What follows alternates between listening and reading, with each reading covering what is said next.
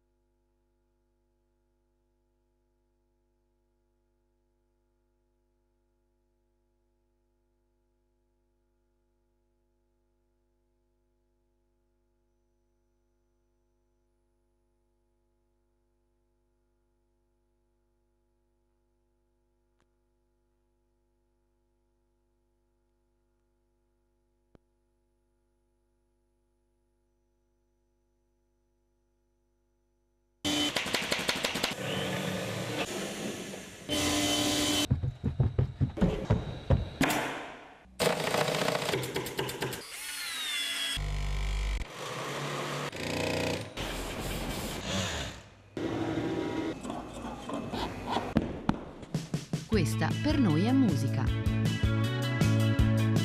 Mettetevi comodi.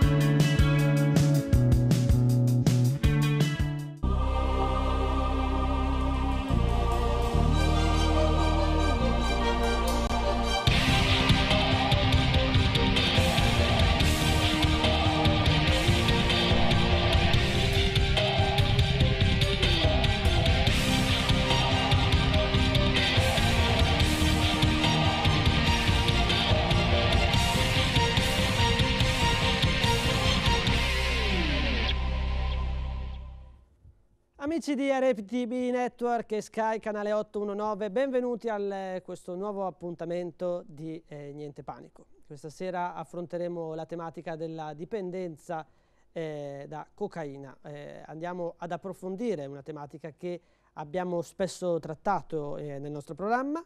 Eh, le mail da voi mandate sono tante, quindi stasera ci avvarremo due, di due professioniste, di due eh, ospiti che ho il piacere di rinvitare e quindi vado a presentarle. Alla mia sinistra la dottoressa Antonia Cinquegrana, che è psicoterapeuta, medico, medico internista. Sì. Buonasera. Buonasera. Bentornata Buonasera, dottoressa. Grazie. grazie di aver accettato l'invito. E alla mia destra invece eh, abbiamo la dottoressa Tiziana Bussola, che è psicoterapeuta. Buonasera. Buonasera. Bentornata. Ecco, entrambe esperte eh, del, nel, nella cura diciamo, dei, eh, dei dipendenti di cocaina.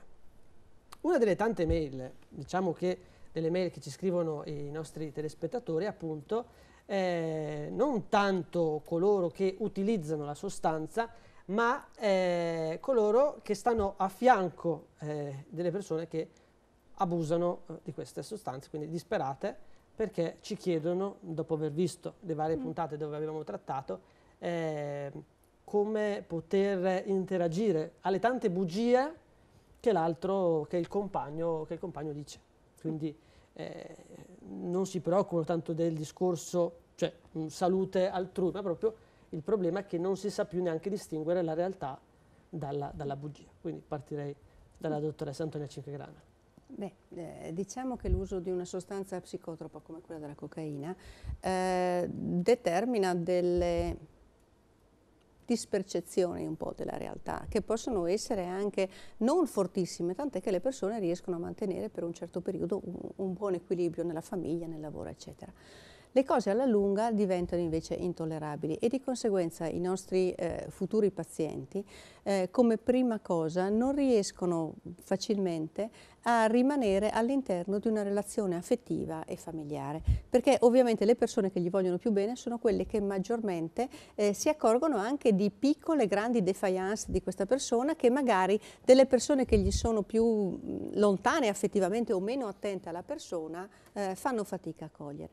Di conseguenza è ovvio che eh, il rapporto di coppia facilmente salta eh, perché magari queste signore incominciano a essere più incalzanti, incominciano a mettere più i puntini su lei e eh, questi uomini che non vogliono in fin dei conti ammettere più di tutto a se stessi e poi ovviamente anche alla loro compagna, incominciano a ehm, dare una, racconti distorti, a eh, raccontare delle cose che sono magari in parte sperate da loro e non sono e quindi ovviamente in questo peggiorando fortemente il rapporto di coppia. Per cui le cosiddette eh, bugie, le falsità che ci sono nelle persone che usano cocaina non, sono tante volte dettate nel tentativo di eh, dire, gestire un rapporto sentimentale che, a cui comunque danno valore cercando di salvarlo e invece in questo modo peggiorano fortemente. Ecco, ma, ma, ma eh, bugie che anche loro stessi credono o avendo una ben, una ben chiara concezione? Diciamo che della... non sono bugie, come dire,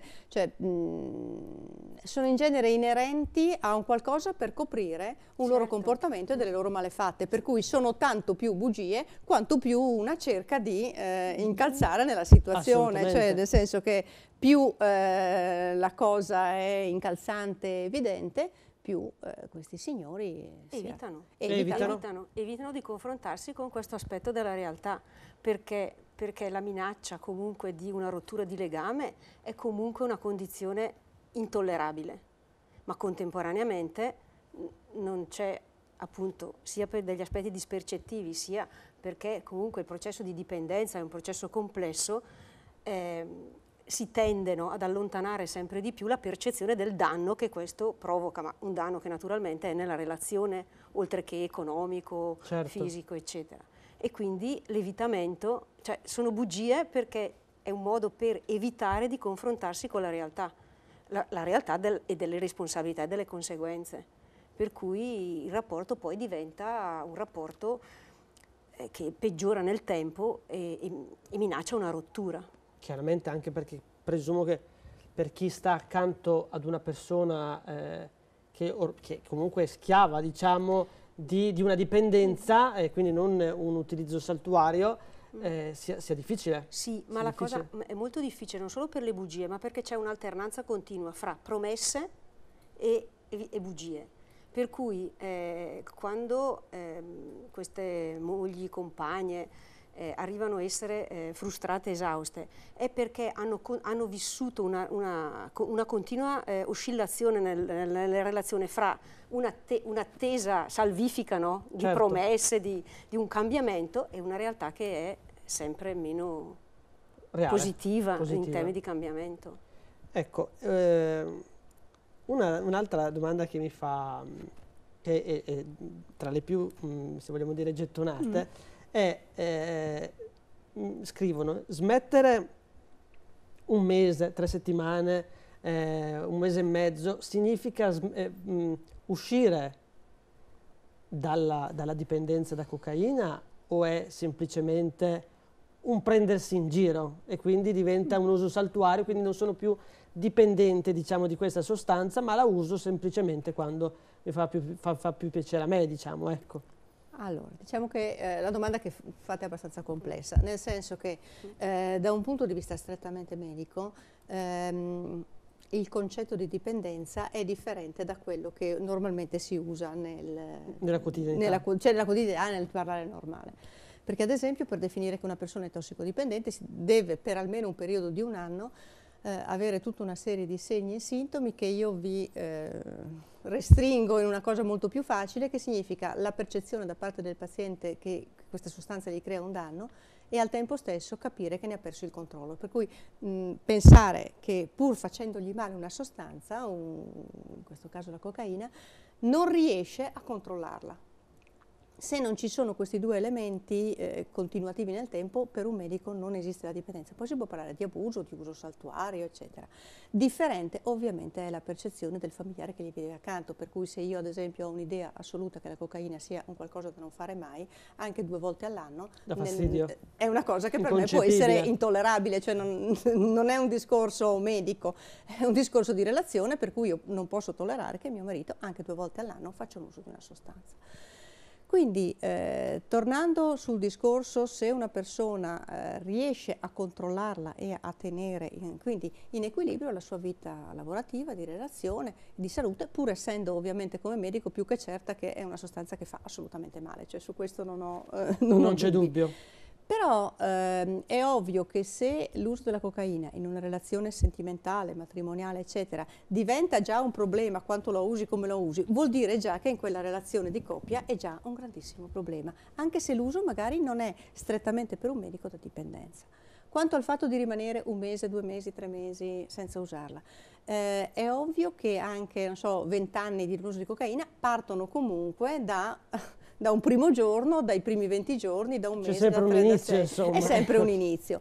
Poi è ovvio che ehm, se una persona sospende l'uso ma non attua dei cambiamenti sostanziali del suo modo di affrontare la vita. La sospensione dell'uso io lo chiamo con i miei pazienti come una specie di grande fioretto, cioè eh, i fioretti possono durare 40 giorni come la quaresima, però chi fa il fioretto della quaresima quando poi arriva Pasqua mangia dolci E si abbuffa. decide- e si abbuffa. Se invece è un discorso che diventa un modo di non, non- non vivere insieme a questa sostanza, i 40 giorni sono i propedeutici a 40 anni eh, di non utilizzo.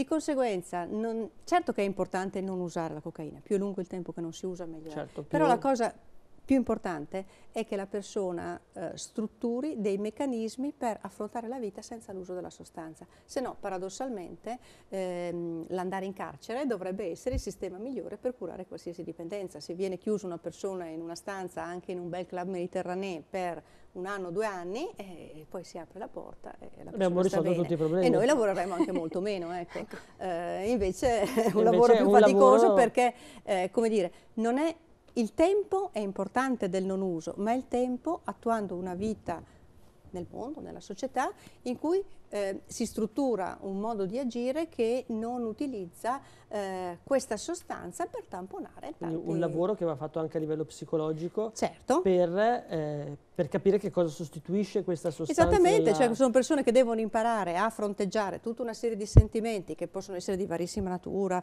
ehm, la noia, eh, la, La stanchezza, solitudine. la solitudine, Il successo. il successo, il perché successo, certo, si certo. pensa sempre a quelli negativi, Sì, ma ad esempio eh, anche gli uomini di più grande La- successo, in cioè, effetti. è festeggiare, no? Fare Cioè, di più, dire, fare avere di anche più, di più. essere in uno stato di eccitazione E di felicità ancora, e di, eh, per sì, forza, insomma. E di, cioè, ma molte volte viene accompagnato, oltre a tutti questi aspetti negativi della vita, proprio alla- al successo, cioè ha un senso di, ehm, come dire, di, di- paradossalmente di libertà. Quante volte i nostri pazienti, no, eh, durante il, il percorso di cambiamento, prima che si ehm, realizzi una scelta profonda di, un cam- di cambiamento rispetto a sé e, e a- e alla condotta, riescono comunque a pensare, ma per festeggiare qualche volta me lo potrò ancora permettere, no? Per far festa, no? non per superare la difficoltà, perché quando si fa un lavoro di cambiamento, i primi, diciamo, eh, le prime cose che si devono affrontare è la fatica, Certo. il sacrificio, il cambiamento. Però rimane sempre nell'idea del paziente per molto tempo l'idea che per festeggiare la cocaina Perché è, il- è è qualcosa in massimo. È più. il massimo, è qualcosa che fa uscire da, È dal- più. dai, dai problemi. È più- È, in- insomma, è in più. E ad esempio devo dire che le prime volte che si vedono i pazienti eh, rimangono sempre molto colpiti e fortunatamente ci riconoscono una competenza. Quando noi gli Anche perché ricordiamo... diciamo che Brescia è comunque l'eccellenza in Sì. Italia, il vostro Sì, centro è sì. l'eccellenza. Perlomeno siamo gli unici, Gli per unici, ora eh, e quindi eh, eh, siamo per forza i più bravi. Onor- onore al merito. eh, Siamo chi- per forza i chi- più bravi. A chi segue Eh, questo... Però, dire, quando noi diciamo a questi si- signori, cioè, sì perché lei la usa, perché, eh, come dicevo, cose negative, la noia, la stanchezza, cioè, e poi perché anche quando è contento, perché non esserlo di più? Cioè, questo senso illimitato, cioè, anche quando le cose vanno bene, se ho fatto 30, perché non fare 31? Cioè, un- avere un qualcosa che va, e questo in genere è molto apprezzato dai nostri pazienti appena arrivati, perché dicono, ma eh, allora lo sa, allora lo sa che è così. Quindi anche una sorta di incapacità nel provare delle, delle Sì, emozioni forti che devono essere per forza eh, provate attraverso Certo. Sì, questa- sì, sì, sì. certo. Ah, con sostanza. additivo. Con additivo. Con additivo. Sì. con additivo. E questo lo possiamo dire sia per uomini che per donne. Assolutamente. Ecco perché la Tiziana Eh. Bussola, la dottoressa Tiziana Bussola è più, diciamo, è specializzata più nel Mi campo occupo- sì, femminile. nel senso che Io direi che credo che abbia la più grande esperienza di donne cocainomani solamente inserite, eh, essendo unici essenzialmente in Italia, direi, perché ne vede tantissime. Sì, eh, da, da questo punto di vista non c'è, eh, non- non c'è una grande differenza eh, nella misura in cui eh, sia donne che uomini decidono di cambiare. Ecco. è il prima che può essere comunque una condizione diversa, nel senso che ehm, la, la, nella, nella, donna, oltre al fatto che adesso diciamo quel grande dislivello fra un consumo maschile e un consumo femminile purtroppo si sta si stanno, sì, quindi quell'idea che sta, prima era un discorso era molto maschile eh, no? uomini ecco, eh, eh, soffrivano cioè, cioè aveva, di cocaina e era, le donne invece cioè, avevano una percentuale di bulimia anoressia, bulimia, no? anoressia o, cioè, alcol, o, o alcol. alcol. rimane comunque ancora un dislivello tuttavia la cocaina è di, di uso così frequente così facilmente Comune, no? reperibile che è, è come l'alcol oggi. Quindi diciamo anche questa, eh, dire, eh, questa condotta è prendibile e usufruibile da parte delle donne e una percentuale di queste ovviamente poi sviluppa una condizione di dipendenza. Dove ehm, diciamo nelle donne più spesso ehm, è legata comunque a vissuti tendenzialmente eh, depressivi, è, è, più legata a dei vissuti di mh, ma mancanza Mm, rispetto a, a un'immagine di sé eh, un po' squalificata, un po' svilita. No? Per cui la cocaina è comunque un ausilio mm, ovviamente patologico per eh, compensare eh, profondamente delle, delle, condizioni di mancanza, anche negli uomini naturalmente, certo, però, però, nelle, donne, donne è, più è, più, sì, è, più sviluppato ed è, ed è, più questa una strada per il cambiamento. Certo. I, mh, mm, i danni ci saranno, immagino, mh, mm, dei danni, mi viene in mente, alla memoria piuttosto mm. che ad altri, ad altri, organi che produce questa sostanza o l'abuso di questa sostanza. Allora, Perché diciamo poi che sa che la paura, cioè poi sì. si utilizza, ma poi, poi c'è sempre anche la paura sì. del che cosa poi mi succederà o potrà succedere. Allora, diciamo questo, che eh, innanzitutto l'uso di una sostanza, come sempre, dipende da che tipo di organismo si va a introitare eh, una sostanza. E quindi ad esempio usare cocaina a 20 anni non è la stessa cosa che usarla a 70, perché ovviamente l'organismo in cui si introduce una sostanza, cioè eh, la certo, cocaina, certo. è diverso e quindi si hanno livelli di reazioni eh, sul singolo individuo che sono diverse. La cocaina devo dire che però i danni maggiori li fa soprattutto all'immediato, a differenza di altre sostanze, nel senso che eh, a lungo termine i danni della cocaina sono ancora da dimostrare. In alcuni topi cresciuti a cocaina sono dimostrati, negli uomini in realtà dei danni permanenti nel lungo termine eh, a tutt'oggi non hanno una dimostrazione nella clinica. Quello che invece è dimostrato e certissimo è invece il danno acuto. Il danno acuto che può essere eh, essenzialmente vabbè, a livello cardiovascolare, per cui si possono avere eh, situazioni di tachicardia, di aritmie molto gravi, si può giungere fino all'infarto, si possono avere degli ictus. di pressione. Cioè, eh, certo, sì. per bacco, per cui intendo dire, capite che se eh, la cocaina viene usata da un grave iperteso rispetto a un, una persona sana eh, e giovane, certo, è ovvio che la possibilità di infarto certo. o la certo. possibilità di ictus o la possibilità di comunque di tutta una serie di eh, patologie cardiovascolari cardiovascolari ovviamente si incrementa eh, in termini assolutamente. assolutamente differenti. Sicuramente la cocaina tra i suoi effetti può determinare delle psicosi acute, ehm, anche in persone assolutamente psichicamente sane, tant'è che quando ci sono queste psicosi acute, nel momento, eh, delle, delle, nel momento immediatamente nel, poco dopo, cioè nell'immediatezza. sì, del, sì, sì, dell'assunzione, eh, come dire uno psichiatra che vede in un pronto soccorso una persona con una psicosi acuta da cocaina e non sa che c'è stata l'assunzione di cocaina, non è in grado di eh, differenziarla da una psicosi acuta di un paziente psichiatrico, per cui va trattata così come l'infarto da cocaina, le aritmie da cocaina, con gli stessi identici farmaci che si usano per un infarto dovuto a una causa vascolare non legata alla sostanza o a cause psichiatriche. Quello che eh, in genere succede è che nel giro di, quando uno ha uno scompenso psichico di questo genere, nel giro di tempo relativamente breve, fino a un mese, due mesi, tre mesi, la maggior parte dei sintomi psichiatrici regrediscono se non c'è una patologia psichiatrica di base. Invece se c'è una, dire, una, situazione latente, per cui magari facendo una vita tranquilla, rilassata, normale, questo tipo di patologia non sarebbero mai emerse, può slatentizzare delle patologie psichiatriche, poi una volta slatentizzate poi difficilmente eh, c'è una restituzione di integrum che ritorna eh, nel non uso anche di cocaina a un quadro cioè, molto meno grave, ma non necessariamente, eh, chiamiamolo di ritorno alla sanità. Questi certo. sono i problemi fondamentali che può dare la cocaina. Quindi e non disturbi eh, alla memoria, cioè piuttosto che all'attività eh, lavorativa, eccetera. No. Sì, cioè nel senso che in, in, acuto, nel senso se noi abbiamo una persona dipendente da cocaina che ha un consumo settimanale oppure più volte la settimana quotidiano, evidentemente Allunga. ci sono anche problemi per quanto riguarda appunto la memoria a breve termine, cioè quindi l'attenzione rispetto certo. a una certo. serie di cose, quindi il, difficoltà di concentrazione di memoria, perché ha un consumo che è continuamente interrompe il, il funzionamento. Perché questa sostanza crea continuamente eh. dei picchi certo. esatto. in basso, giusto? Certamente. Sì, sì, sì. Però è e ovvio quindi... che nel momento, nell'acuto non è soltanto i tre minuti dopo che uno l'ha presa. cioè, ecco, questo è da chiarire, eh, che spesso certo. in acuto tre minuti, basta, tre minuti, fine, si torna come nuovi. No. no. Eh, se una persona la usa con una certa continuità, almeno qualche volta a settimana, uno o due volte, ma anche banalmente uno o due volte a settimana. Eh, come dire, lo squilibrio che crea a livello psichico non crea degli alti e dei bassi che difficilmente si riescono a, eh, a compensare. A compensare. degli sbalzi eh, di umore, di umore che si possono, che si possono accumulare. Quello che sicuramente è vero è che se questa persona arriva a una completa cessazione dell'uso completa, e, e, e, dura. E, du e duratura, ovviamente, eh, questi sintomi regrediscono. regrediscono.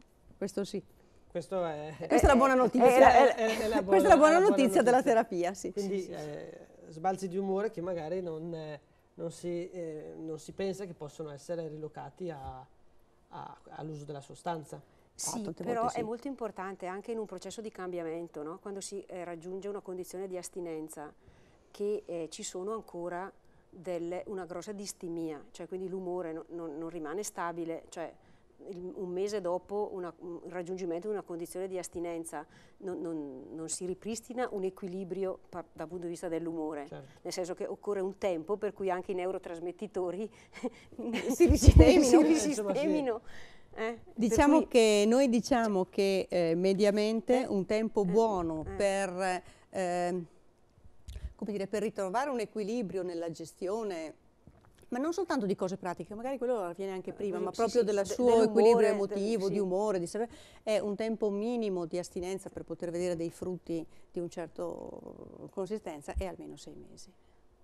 Adesso come eh, utilizzo di questa sostanza credo che, sebbene si diceva nelle scorse puntate che comunque i vostri pazienti sono eh, più su con l'età, è una sostanza che però, essendo come dicevamo prima molto accessibile alle tasche di un po' tutti, eh, l'utilizzo è quindi eh, alla portata anche dei ragazzini. Sì, sì. Quindi possiamo dire, anche se sicuramente non abbiamo casistiche in merito, che ehm, eh, ci sono delle dipendenze, ci possono essere delle dipendenze anche in ragazzi giovani o molto giovani, come eh, anni indietro era lo spinello, adesso potrebbe essere allora, che... Sì, diciamo che la dipendenza non è adesso c'è o non c'è, è un processo certo, un no? che richiede una serie di cambiamenti legati ovviamente sia alla, diciamo, agli effetti farmacologici della sostanza, ma anche al contesto di vita. Cioè, ehm, adolescenti, non, cioè, allora, eh, ovviamente l'approccio alle sostanze può avvenire in età molto giovane, certo. cioè già alle medie può capitare. Può capitare. Ecco. Però dic diciamo che la cocaina, gli studi ci dicono che tende a essere, come dire, avvicinata un pochino più in là, comunque sempre in adolescenza, cioè 17, 18, 19 anni.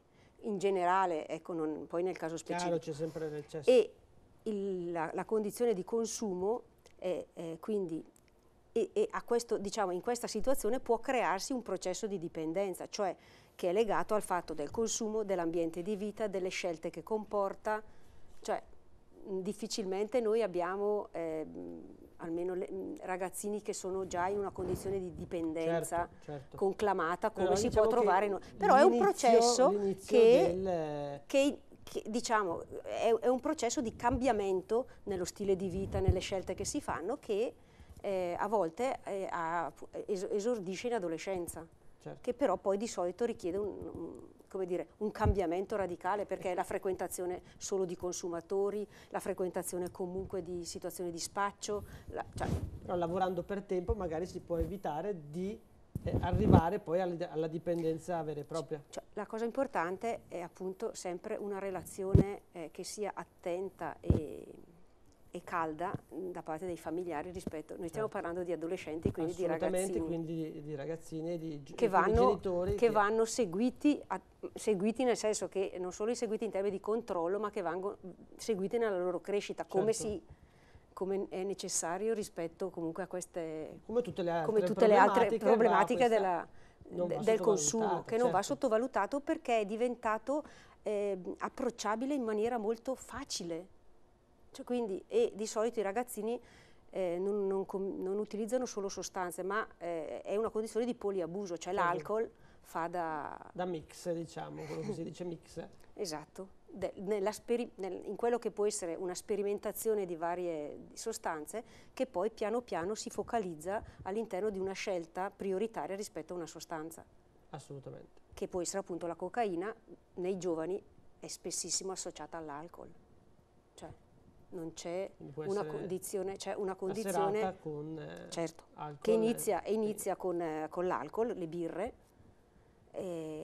poi la, la, cocaina, poi i superalcolici o comunque altre birre e poi la finale di solito è la cocaina perché, eh, come, dire, come dicono anche gli adulti, ti riprendi un po', ti ripigli. Sì. Eh, devo dire che i nostri pazienti molto prima che i farmacologi trovassero una sostanza che si chiama il cocaetilene, che è eh, un insieme di cocaina e alcol che all'interno del nostro organismo permette all'effetto della cocaina di durare di più, perché l'effetto della cocaina è abbastanza breve, e al mh, mm, tempo stesso alla cocaina di svegliare dagli effetti rimbambenti De, dell'alcol. Del, eh. e questo è possibile appunto perché si forma nell'organismo questa mix che è il cocaetilene. I nostri pazienti, anche prima che lo scoprissero i farmacologi, l'avevano da solo, scoperto. nel senso che avevano scoperto che eh, mettendo insieme queste due sostanze eh, l'effetto migliorava, cioè migliorava Pro, per quello che era, si prolungava, eccetera. Ma appunto questo non è un, cosa che si possa dire, visto che i nostri consumatori lo sanno, cioè, lo sanno prima. molto prima di noi.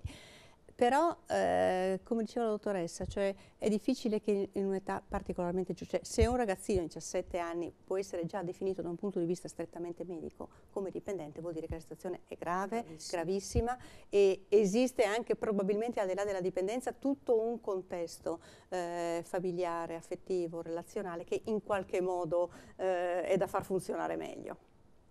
Perché la cocaina è una sostanza che impiega un po' di tempo a fare danni, lentamente, e proprio perché impiega lentamente a fare danni, uno quasi non si accorge dei piccoli, grandi cambiamenti che mette in atto nel giro di due, tre, quattro anni di consumo, sempre ingravescente. Quando poi viene fuori il problema acuto per cui in genere si rivolgono da noi, beh, eh, tornare indietro non è impossibile, si può, ma... Eh, Bisogna, lavorare. Bisogna lavorare, ecco, sì, bisogna lavorare. Molte volte appunto c'è sempre un'associazione, altra cosa, oltre all'alcol oppure al policonsumo di altre sostanze, c'è il gioco. Cioè il gioco è diventato... Il gioco d'azzardo. Il, il gioco, le slot machine per esempio sono come dire, una condizione che sotto effetto di cocaina viene, cioè, si, si attiva ehm, come dire, quello che viene definito un comportamento compulsivo e quindi questa reiterazione dello stesso, dello stesso comportamento per cui c'è un consumo di cocaina e, vengono, e che si comincia a giocare con le macchinette. Per chi può avere anche la possibilità economica quindi di poter... Ma anche chi non ce l'ha, nel senso che si indebitano a, si, si indebitano, cioè nel senso riescono ad avere un, del denaro e, e, lo, e lo, utilizzano, lo utilizzano eh. in maniera eh, impulsiva in, in questo, in questo sì, tipo senza vedere il problema che poi questi soldi andranno restituiti eccetera in quel momento l'unico obiettivo quel è in quel momento questo. perché c'è già la cocaina che slatentizza in qualche modo eh, una condizione disinibita assolutamente no? e, e, e, e, quindi a maggior ragione non c'è ecco. sì, una, non una si pone il problema di freno come Nessun freno inibitore? Beh, ad esempio devo dire che tante volte parlando con i miei pazienti dico sempre che eh, i nostri pazienti non hanno per definizione tante volte il senso del, del denaro, perché è ovvio che la cocaina ha comunque un costo anche elevato, decisamente certo. elevato. E quindi se queste persone a qualsiasi livello culturale, sociale, eccetera, ha, hanno tutte le maniche un po' bucate, del resto è anche ovvio quando si lavora poi terapeuticamente con loro che lo riconoscono, nel senso che se loro avessero il senso del denaro che si spende, il senso del denaro sperperato, si fermerebbero un attimo a pensare e, e capirebbero anche questo. È evidente che questa l'idea del denaro è una componente che non c'è nei nostri pazienti, perché quando poi stanno bene incominciano invece a riscoprire e a utilizzare l'idea di, quanto, di che significato ha il denaro. che se no non hanno, non hanno sulla cocaina, non hanno su tante altre cose, nel senso che tanto è e tanto si spende, cioè non, non esiste proprio una, una percezione Ma sul mh, denaro. quando l'effetto diciamo, del- della cocaina termina, quindi mh, abbiamo detto eh, che eh, si fa l'utilizzo nell'arco di X tempo più volte, Mm. arriviamo al giorno dopo, il giorno Mm. dopo eh, presumo ci sarà un mal di testa o un ribambimento, eccetera. Eh, quello che ricorda il paziente è tutto ciò No, che è capitato o che, è un... quando c'è una condizione di uso protratto, cioè nel senso non è una volta eh, all'anno e quindi vabbè, eh, diventa una cosa di questo genere, ma quando comincia a essere un appuntamento fisso, una, due volte a settimana, piuttosto che una volta di quindici, ma comunque l'idea dell'appuntamento fisso, tutto ruota in- all'interno di questo appuntamento con la sostanza. E ehm, tutti i pensieri dei nostri pazienti sono centrati su quello, quindi non c'è molto spazio per pensare al costo, al mica costo, alle relazioni che si possono più o meno Quindi È la rovinare. prima cosa nella Sì. scala di valori. Anche se la- l'uso magari è apparentemente, non, cioè, uno pensa sempre, ma sì, non la uso tutti i giorni, eh, non ho problemi. Beh, certo, è ovvio che se uno la usa 10 volte al giorno è peggio di quello che la usa una volta ogni settimana, una volta alla settimana, però è proprio una forma mentale, anche perché riprendersi dagli sbalzi emotivi della cocaina, come diceva prima la dottoressa, non è eh, una cosa che, cioè l'effetto, come dire, piacevole di per sé, quello maggiormente ricercato, dura 10 minuti, un quarto d'ora, quello che. Dipende da- dalla, Dipende dalla da- ripetizione, dalla ripetizione, del, consumo, del ecco, che dell'up and down. Esatto. Ma eh, l'effetto di smaltimento della sostanza non è altrettanto, cioè non è che poi in tre minuti e quindi diciamo che tutta la, la- la percezione di quello che c'è intorno è un po' alterata.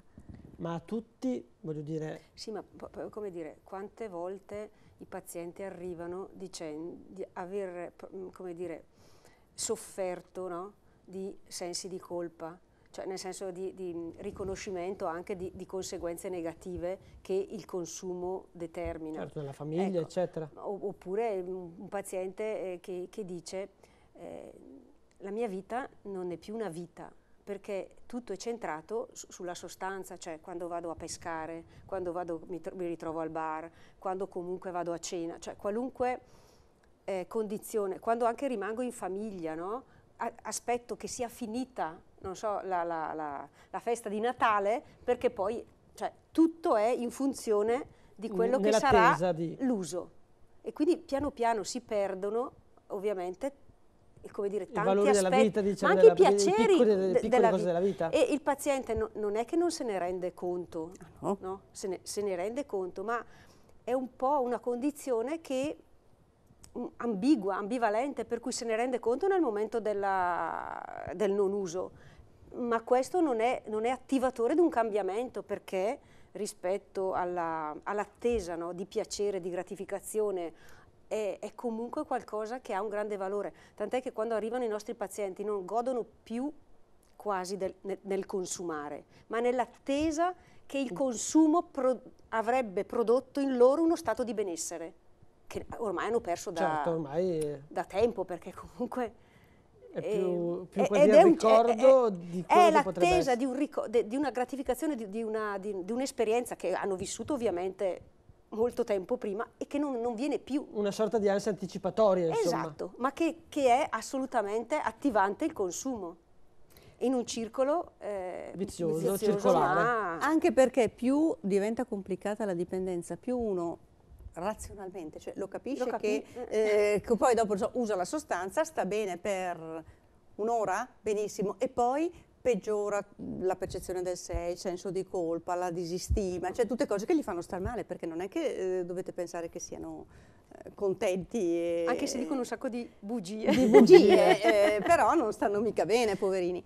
E quindi, eh, nonostante lo sappiano, perché non è un discorso razionale, loro lo sanno, però è ehm, innescare un cambiamento che gli permetta di fronteggiare questa situazione. Questo è il vero problema del- dell'approccio iniziale del, del paziente e questo è il vero problema perché eh, è molto frequente che il paziente cocainomane, eh, in assoluto di per sé, ma in particolar modo più eh, si è inesperti nel trattarlo, è un paziente che, che- che- che- dopo un paio di incontri con un Fugge. eventuale terapeuta fugge via, cioè non ha un riscontro magari immediato di beneficio e quindi è facile che eh, scappi via. Bene, io direi, prima di continuare la nostra chiacchierata, di andare in una piccola pausa di pubblicità. Subito dopo sarà ancora Niente Panico. A tra poco.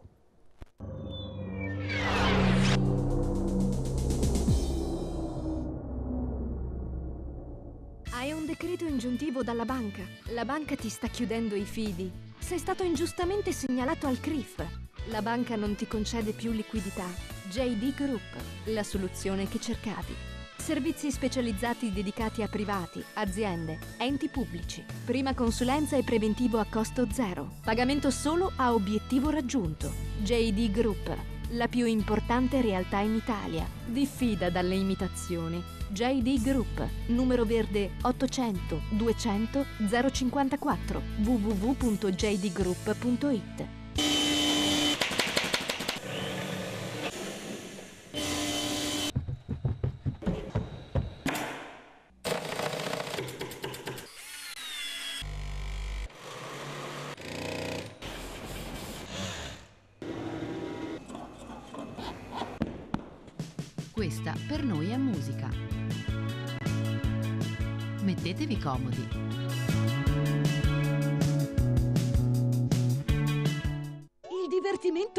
tutta la famiglia è al Center Park. Center Park per un'entusiasmante estate di divertimento. Il grande parco acquatico con scivoli mozzafiato, quattro piscine, solarium, area termale con sauna idromassaggio e area fitness. E se ami lo sport, campi da volley e calcetto. Inoltre area picnic, ristoro, ombrelloni, sdraio. E ogni domenica sempre nuove attrazioni. Center Park e la tua estate sarà fantastica! Ad Antegnate Bergamo sulla statale Soncinese. Ampio parcheggio.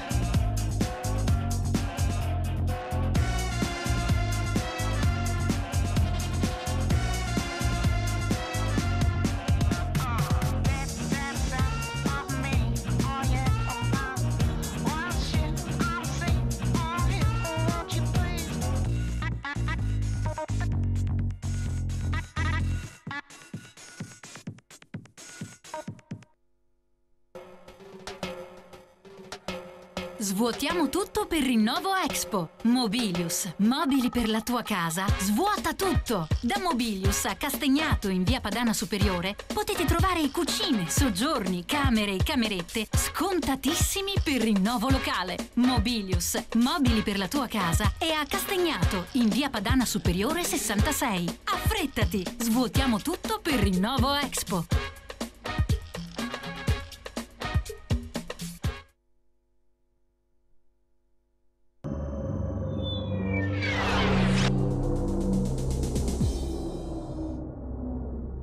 Sì, sì, sì. E bentornati agli amici telespettatori, bentornati a Niente Panico. Stiamo parlando di dipendenza eh, da cocaina, insieme a noi la dottoressa Antonia Cinquegrana e la dottoressa Tiziana Bussola. E ehm, mi interessava, visto che come dicevamo qui a Brescia abbiamo l'onore, io ho l'onore di averla in studio, ma Brescia ha l'onore di avere questa eccellenza eh, nel- nella cura della tossico, diciamo della dipendenza da cocaina, eh, mi chiedevo appunto come eh, fosse l'approccio con il paziente, cioè ehm, la terapia, è una terapia più, eh, esistono dei, dei farmaci, mi sembra di, di no Non molti. non molti. Ecco, quindi il lavoro che il paziente, quindi a, in- a questo punto il paziente che ha una reale dipendenza e quindi è sotto cura, il, il lavoro qual è che deve, che deve fare? Allora, E quindi il vostro diciamo, lavoro. nostro lavoro. Allora, diciamo che per la cocaina purtroppo dei farmaci risolutivi nel trattamento della cocaina ad oggi purtroppo non li hanno ancora inventati. Si sta molto studiando, si sta molto sperimentando, ma eh, ad oggi tutti i vari trial scientifici che hanno fatto su varie sostanze purtroppo non hanno dato eh, i risultati sperati. E quindi per ora il trattamento non passa attraverso dei farmaci. Dei farmaci possono essere usati per dei sintomi in acuto, per cui una persona che è eccessivamente ansiosa, una persona che so, ha una psicosi acuta, per una persona che ha una tachicardia, cioè farmaci che però non risolvono il problema della dipendenza in sé da cocaina purtroppo. E quindi il trattamento eh, passa attraverso una psicoterapia, che è quella che facciamo io la dottoressa Bussola, o un counseling strutturato. Il counseling vuol dire che è una forma meno strutturata, meno approfondita, ma è sempre un sostegno e sia il counseling che la psicoterapia cosa vuol dire? Che la terapia passa attraverso la, la voce, il parlare, eh, e, ma non solo il parlare, perché tante volte si dice ma parla che ti sfoghi, no, è un intervento strutturato eh, con degli obiettivi, con dei tempi, con delle modalità specifiche che eh, serve a aiutare il paziente nel cambiamento, perché in realtà è necessario che il paziente possa cambiare che è anche poi la terapia che fa più male, nel senso che eh poi sì. vengono a galla tante cose che eh, attraverso Certo, la psicoterapia certo. si realizza. Devo dire che noi come gruppo specialistico in realtà abbiamo nel tempo strutturato delle modalità comuni e delle modalità differenti, cioè nel senso che ognuno di noi ehm, è uno psicoterapeuta, ha una sua formazione, quindi utilizza degli schemi eh, di riferimento terapeutici, per cui possono esserci degli approcci anche differenti. Io ad esempio ho un approccio cognitivo-comportamentale, la dottoressa supportivo espressivo, ma ci sono delle parti comuni che noi invece abbiamo strutturato, ad esempio proprio per il fatto esempio, che i nostri pazienti non possiamo trattare con dei farmaci, devono avere un, ehm, una presa in carico, come dire, molto frequente, cioè il paziente deve vederci spesso, perché eh, tante volte ha situazioni di ansia che non possono essere gestite, quindi tante Certo. volte dobbiamo essere, cioè per cui ci vuole una certa flessibilità nel trattare questi pazienti. E all'inizio, prima che vengano fuori eventualmente, se ci sono, tante volte non ci sono, altre patologie o altre problematiche, è tutto molto centrato sul sintomo. Quindi si lavora sul sintomo Si lavora molto sul sintomo come punto di partenza per poi eventualmente, se necessario, non sempre necessario, aprire altre cose, ma all'inizio si è molto centrati sul sul, sintomo. sul E sintomo. poi casomai si aprono i vari E cassetti. poi si aprono vari cassetti, i anche vari perché cassetti. se non si toglie o si riduce fortemente una sostanza psicotropa come la cocaina, diventa difficile di affrontare, cioè si può parlare, ma è anche tempo perso, affrontare in maniera concreta e terapeutica altri problemi di città. E, e credo che un altro, cioè, ehm, quello che mi stupisce sempre è ehm, la forza che un, uno psicoterapeuta, un medico come voi deve avere anche per distinguere la verità dalla, dalla bugia che Sì, può dire il paziente. sempre Può essere nel- questa una stupidata che magari no, è sto molto dicendo. vero. Però io dico sempre ai miei pazienti che il percorso eh, di cambiamento e qui è, un, è un percorso che passa attraverso la possibilità di costruire la verità e la sincerità rispetto a se stessi, no? E quindi passa attraverso una condizione di profonda onestà. Nel senso che alla fine il paziente eh, non può altro che essere il paziente, quindi se ha utilizzato queste condotte di evitamento eh, nella, nella- nella pratica quotidiana, è possibile che le riproduca anche un po' con noi.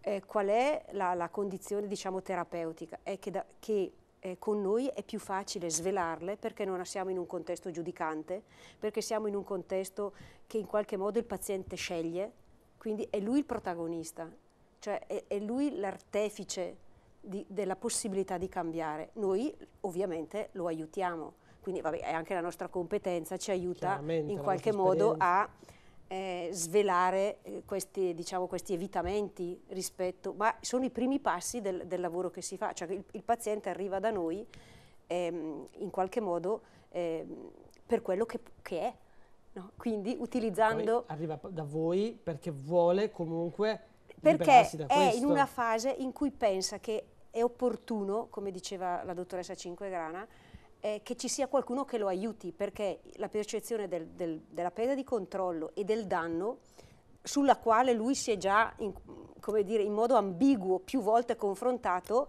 eh, è in una situazione che non- da cui non ne esce. È un impasse. Ecco, per cui è vero che il paziente quando viene e apre la nostra porta cerca un aiuto, però dalla, diciamo, dal tentativo dell'aiuto all'esserci veramente per farsi aiutare è un lavoro terapeutico, lavoro terapeutico, che, che- che riguarda la prima fase del trattamento, perché è vero che si lavora sul sintomo, ma si lavora sulla relazione, sull'alleanza terapeutica, sul rapporto di fiducia rispetto a, una, dire, a un obiettivo comune.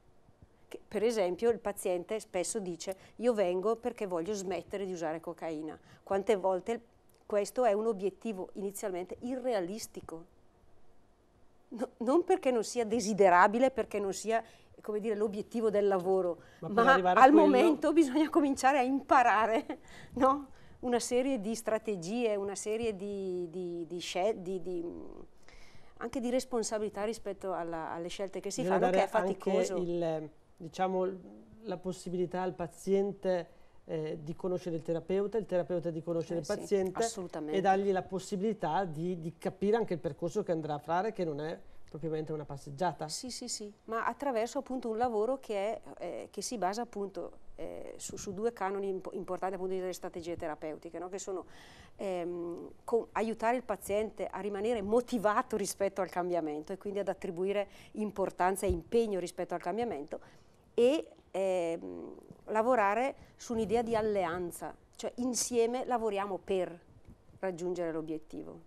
Certo e questi diciamo, sono le due eh, altre due più altre, dire, altri piccoli ingredienti terapeutici, certo, quasi sono quelli essenziali. Del, del, e poi di, direi di che forse è una cosa che all'inizio cioè, viene molto capita dai pazienti, forse di più, meno dai colleghi, eh, noi proponiamo ai nostri pazienti sempre anche dei controlli urinari ah, dei ah, controlli sì. urinari. Che è il che mezzo attraverso il quale... È il mezzo attraverso il quale i pazienti imparano anche, tra virgolette, a dire la verità. Cioè, tante volte, ma non perché sono dei mentitori, ma perché magari è molto forte il loro desiderio di voler dire quanto va bene il programma, di quanto sono bravi, eccetera, perché, perché è una specie di fantasia che gli piacerebbe fosse una realtà, non perché necessariamente sono, come dire, degli orribili bugiardi.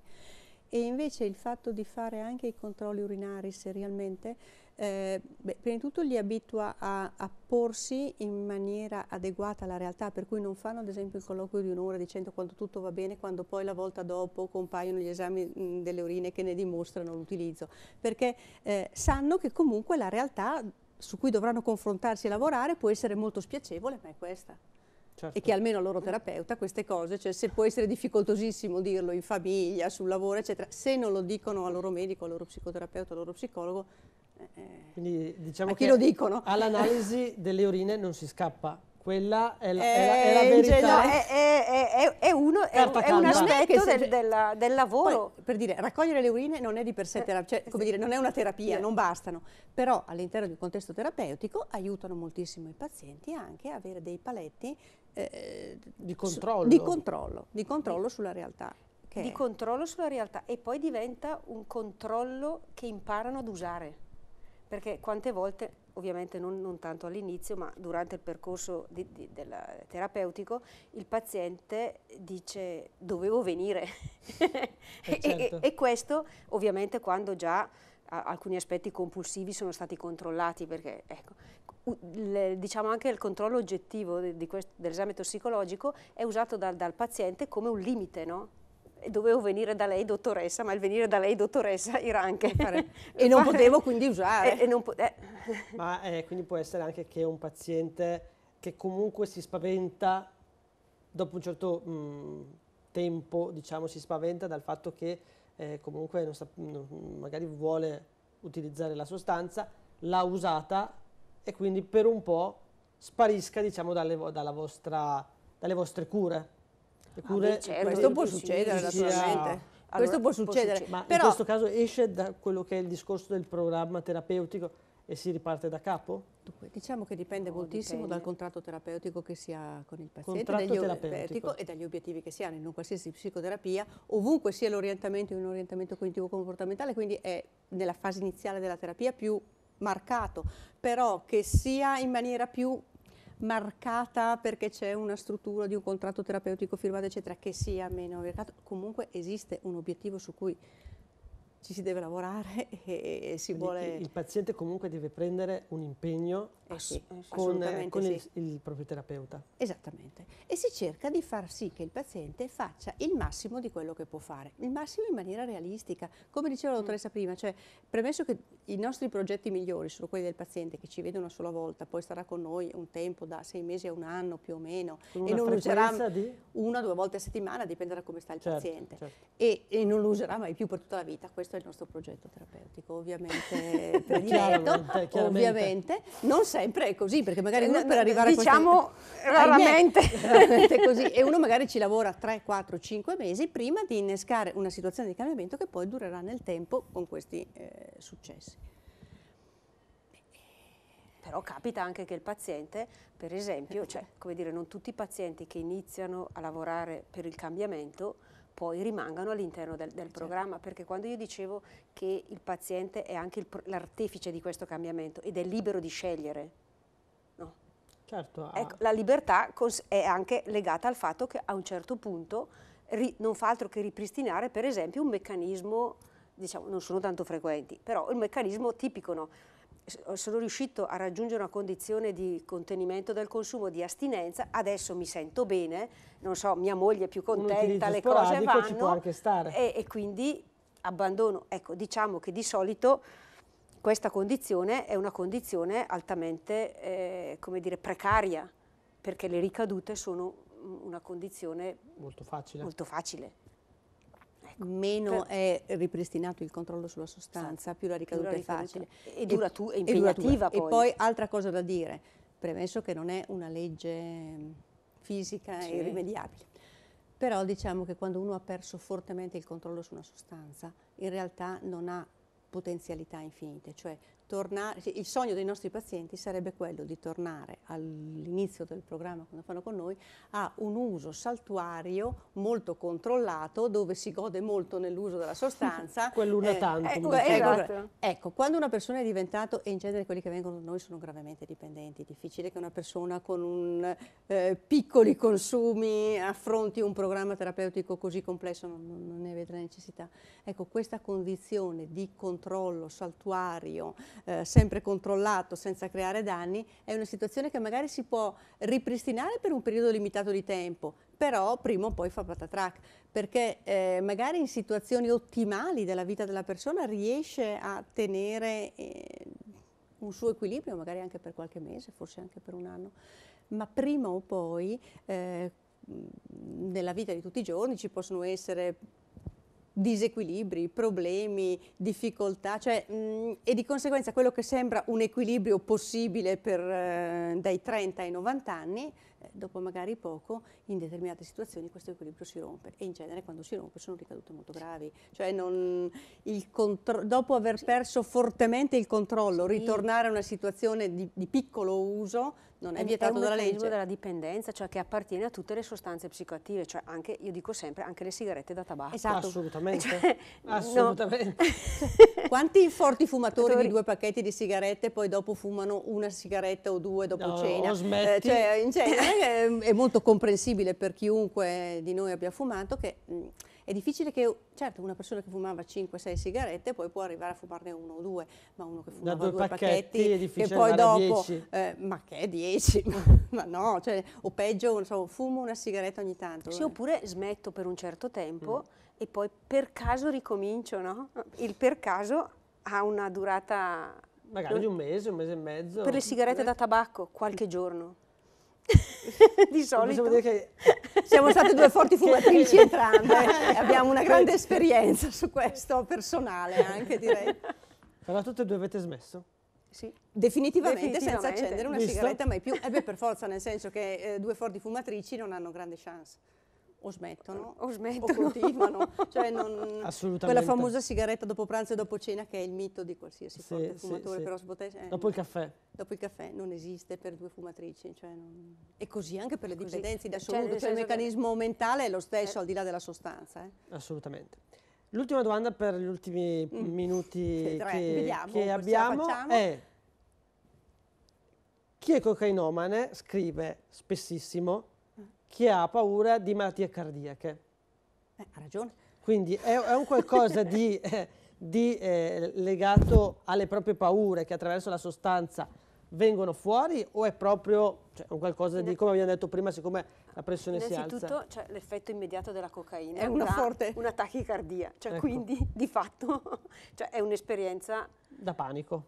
è un'esperienza anche comunque 12 eccitante che però eh, i nostri pazienti hanno già avuto varie esperienze dove questa condizione, cioè l'idea che possano morire è passata nella, nella loro mente.